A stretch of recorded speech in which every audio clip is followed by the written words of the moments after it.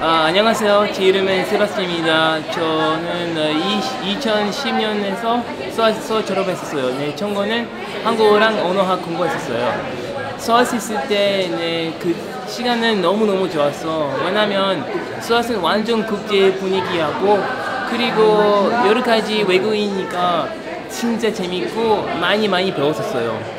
그리고 선생님들이도 학생들이도 너무 좋고 항상 서울은 대한마음 대학교요. 100주년 때 축하합니다. 고맙습니다.